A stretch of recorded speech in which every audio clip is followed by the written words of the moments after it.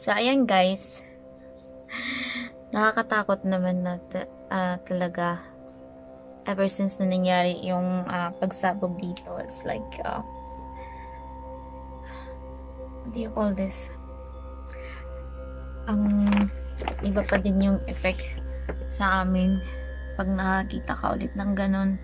So, yung nangyari kanina, nakita ko yung ano, uh, sabi ng kapatid ko, ano to, umuulan ba? Or, uh, sunstorm. So, sabi ko lang sa kanya, sagot ko lang is, ano, siguro sunstorm. So, nag, ano, nag-scroll down ako sa Facebook. So, ang sabi ko, ano, nag, nag-scroll down ako sa Facebook kasi mahina talaga yung internet namin. And exactly, dumaan yung post ni Raish nung kumari ko. Nakita ko yung ano, malaking usok. Sobrang laki ng usok. Tapos ang sabi niya, asan na naman tong usok na to? As uh, Ashafi na naman to. So, yun guys, grabe. Eh, dito mayo ako kasi nandun ako sa ano, sa gitna ng door. Nakaupo lang ako sa sahig kasi yun lang nga waiting na sa lodge namin. So, ang nangyari, ano, ang nangyari kasi, um, bigla na lang, ano, bigla akong tumayo. Pumunta ako dun sa window, sumilip, saglit, tapos, ang kita ko yung malaking usok, sobrang itim, nakikita ko. Alam mo, yung pakiramdam na, uh, kung ano yung nangyari last month, na, yung paano sumabog uh, bigla agad nagsink yung ano bigla ulit na bumalik yung kwan yung nangyayari na kung ano yung nangyari sa amo ko na kung ano yung dahilan kung bakit sila uh, naging ganon. Kasi yung part na yun kung saan ako sumilip kanina doon siya talaga na ano doon siya tumilapo nawala doon siya na ano. So yun ang nangyari. Bigla akong ano, bigla akong napatakbo nang wala sa oras na kailangan kong um, naghabol ako ng hininga ko kanina. Tapos ano um, bigla na lang yung lahat ng mga kung ano yung mga nangyari bigla na lang naisip ko na baka meron ulit na sasabog so grabe talaga. Biglang nagsibalikan lahat na yung pakiramdam mo na yung takot na nar- naranasan mo nung nakaraang buwan. Um, sobrang ano, sobrang sakit na hindi mo alam kung paano mo uh, kung ano yung nararamdaman mo. Sobra na ano kailangan mo tumakbo kailangan mo mag-hide kailangan mong may maka ano maka-hide doon sa soul na kung saan um pwede kang i-cover. Tapos ano grabe talaga yung ano grabe yung kinabahan ako doon namutla ako kaya naglagay lang ako ng konting lipstick.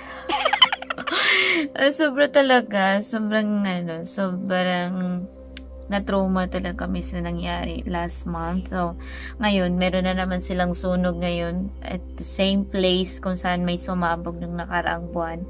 So, ayan na naman. So, hoping uh, maging okay na talaga. I don't know what what's going on now.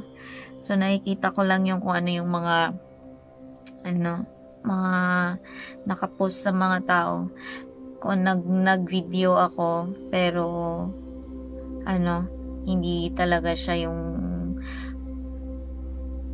kasi nasa loob lang kami kailangan namin na magtago muna. Magtago muna. Kasi nakakatakot talaga guys. Ito nagmamadali kami bumaba. Dito na kami sa room namin. Mamadali na kami bumaba, kumain muna kami doon sa taas. Tapos, ano, bumaba na kami kasi baka may, mamaya may mangyari na at least nandito kami sa baba, hindi na kami mahirapang bumaba pa. May elevator pa. So, ayan, ang mga nangyari. Sobrang nakakatakot na talaga.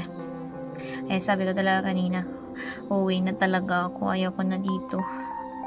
Nihintay ko lang yung ano, kinahintay ko lang yung kung uh, na ma- maging okay yung kwan dito sa trabaho ko. Saka namin iwan kasi kawawa naman kung iwan namin na ganitong sitwasyon na sobrang messy pa masyado kaya kailangan din namin na uh, umalis na maayos ang lahat. So, yan. Nakakatakot.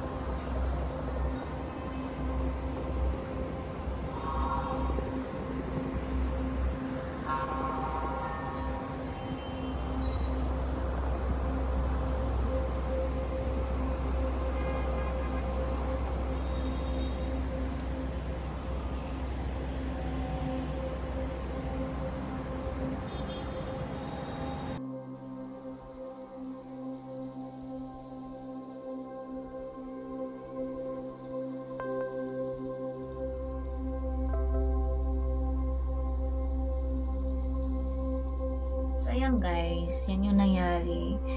Um, bigla na naman kaming natakot. So, kaya, I'm really hoping and praying to God na maging okay na talaga.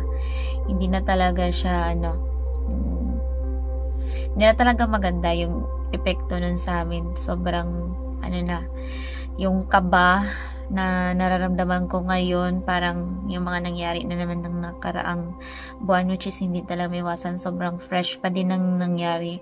And uh, at the same time, ano, um, hindi natin alam kung ano yung maging takbo ng panahon. Pwede, anytime pwede mangyari ulit yun. Kaya, let's pray na lang na wala nang susunod pa nun. So, yan po.